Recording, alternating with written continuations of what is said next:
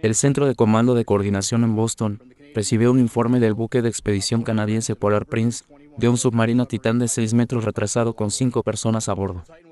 El Titán pretendía visitar los restos del Titanic a unos 1.400 kilómetros al este de Cape Cod y unos 640 kilómetros al sur de St. John's, Newfoundland. Una hora y 45 minutos tras la inmersión programada, el Polar Prince perdió toda comunicación con el Titán.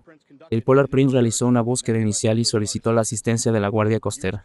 La Guardia Costera estadounidense en Boston asumió la responsabilidad de coordinar la misión de búsqueda y rescate, y comenzó inmediatamente. La Guardia Costera ha coordinado la búsqueda desde el domingo. Con la Guardia Costera estadounidense y canadiense, aviones de la Guardia Nacional Aérea y el Polar Prince, que han buscado un total combinado de 19 kilómetros cuadrados, un área más grande que Connecticut.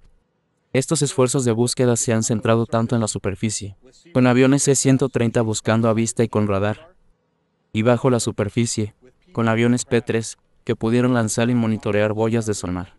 Hasta la fecha, esos esfuerzos de búsqueda no han arrojado ningún resultado. Los esfuerzos de búsqueda han continuado los últimos días.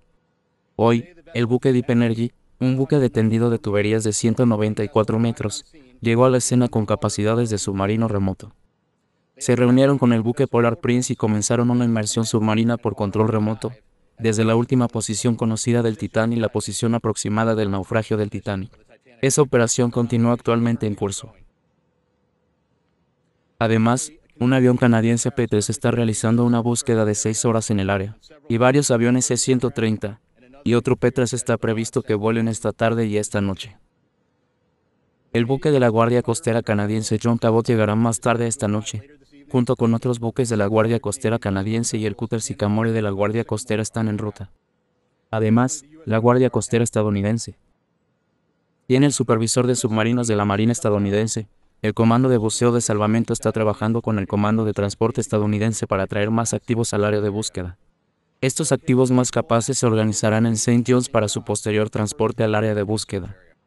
También hay varias embarcaciones privadas de investigación con capacidades de control remoto que se están preparando para unirse a los esfuerzos.